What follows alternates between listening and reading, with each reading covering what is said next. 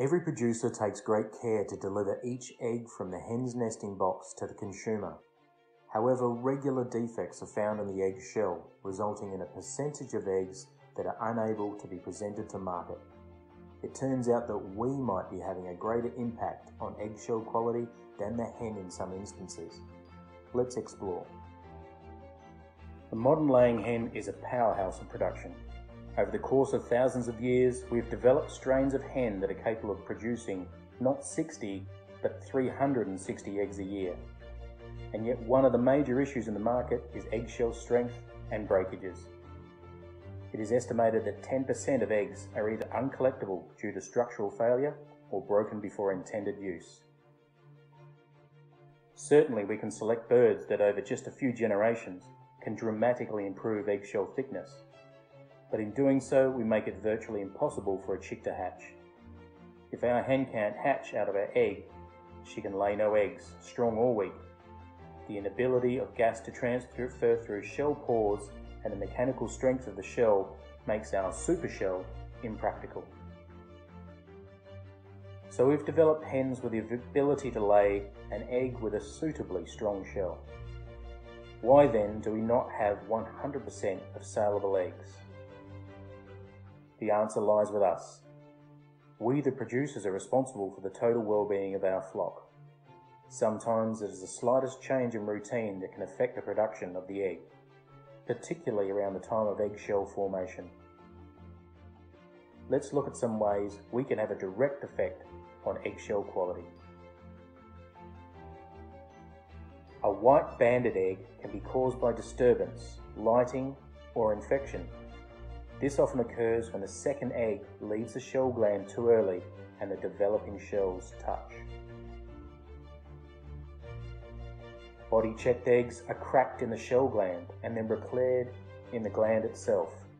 This can be caused by lighting, disturbance, and overcrowding of pens. Misshapen eggs can be caused by an immature shell gland, disease and stress from overcrowding, and other disturbances. Soft-shelled eggs are often laid by immature pullets, but can also be caused by poor nutrition, saline water, disease, and stress. Calcium deposits on the eggshell can be caused by a defective shell gland, but can be exacerbated by disturbances during the calcification process, retention of egg due to stress or poor nutrition.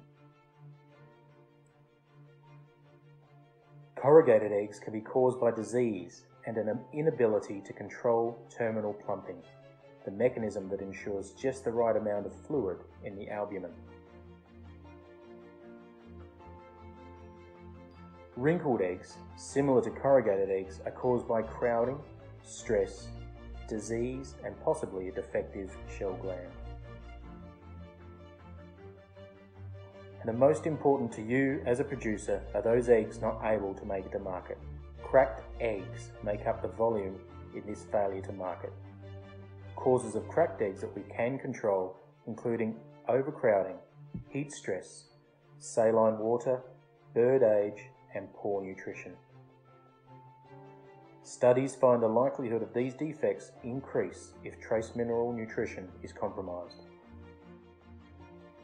So if we control our environment, have a sensible lighting program, maintain the birds in a thermo-neutral zone, ensure limited disturbances, don't expect too many birds to crowd comfortably in the pen, measure and monitor our water supply, keep our disease knowledge up and work closely with our veterinarians to maintain freedom from disease by either eradication or vaccination programs we will give our birds the best chance of laying a structurally sound egg.